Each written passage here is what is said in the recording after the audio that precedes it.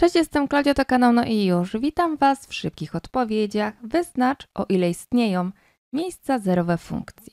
Ok. Miejsce zerowe jest wtedy, kiedy y, czyli f od x jest równe 0. Więc bierzemy to, co tutaj mamy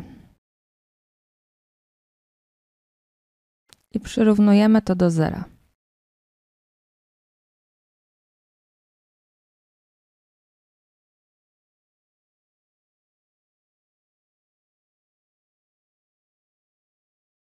Wychodzi nam tutaj minus 2.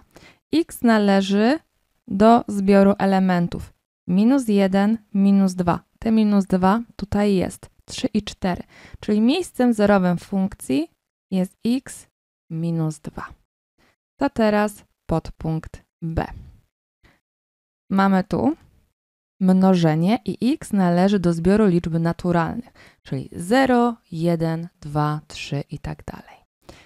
Jeżeli ten nawias będzie się równy, równać 0, to 0 razy ten nawias to nam się wyzeruje. Więc będziemy tutaj mieć dwa możliwe wyniki. Jeżeli x plus 8 będzie się równać 0, to x musi się tutaj równać minus 8. Ale minus 8 nie należy do zbioru liczb naturalnych. To jest liczba całkowita. Więc nie może się tak równać. To teraz to. Mamy 2x minus 6 ma się równać 8. 2x 6, x to 3. 3 już należy do zbioru liczb naturalnych, więc miejscem zerowym tej funkcji jest x3. To teraz tutaj mamy mieć x należący do zbioru liczb rzeczywistych odjąć zbiór liczb wymiernych, czyli ma nam tu wyjść liczba niewymierna. Na przykład jakiś pierwiastek, z którego nie jesteśmy w stanie wyciągnąć liczby. No to lecimy. 3x kwadrat minus 9 ma się tu równać 0. Czyli 3x kwadrat ma się równać 9, x kwadrat 3 i pierwiastkujemy. Gdy mamy tutaj do potęgi drugiej, to mamy x pierwiastek z 3 lub x minus pierwiastek z 3. Bo jak to tutaj podstawię, to otrzymam 3 i jak to tutaj podstawię, również otrzymam 3. Jedno i drugie nam należy do zbioru r odjąć Q. To oznacza, że tutaj mamy dwa miejsca zerowe. To podpunkt D i mamy.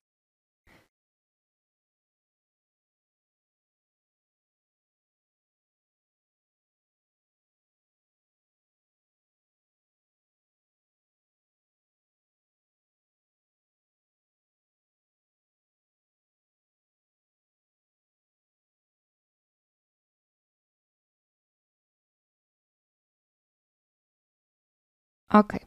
Natomiast tutaj x ma należeć do zbioru liczb wymiernych, a tu nam wyszły liczby niewymierne, czyli piszemy, że nie należy do Q.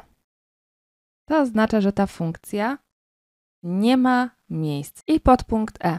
Mamy w mianowniku piątkę, więc tutaj x może należeć do wszystkich liczb rzeczywistych, bo założenie nam tutaj nic nie wyklucza.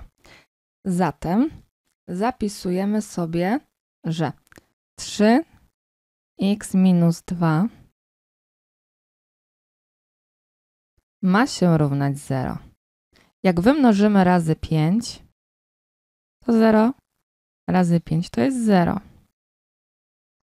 3x to 2. To na co dzielimy zawsze wskakuje nam do mianownika. Czyli mamy tutaj dwie trzecie. Ok. No to A teraz widzę, że tu jeszcze jest minus w zadaniu.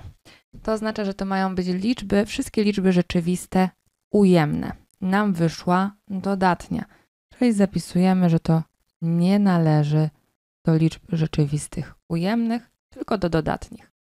Setka to oznacza, że mamy x należący do zbioru liczb całkowitych, czyli tych całych, typu minus 5, minus 4, 0, 1, 2.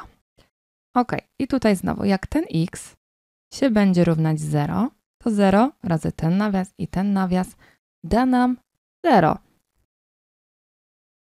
Czyli to już nasze pierwsze miejsce zerowe.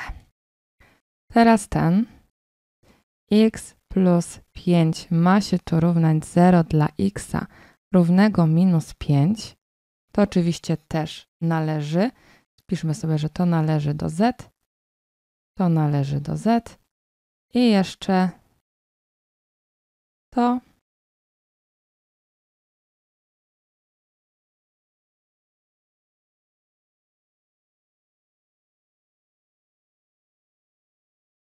I tutaj nam wychodzi ułamek, czyli to nie jest liczba całkowita, czyli zapisujemy, że to nie należy do z, więc tutaj mamy jedno i drugie miejsce zerowe.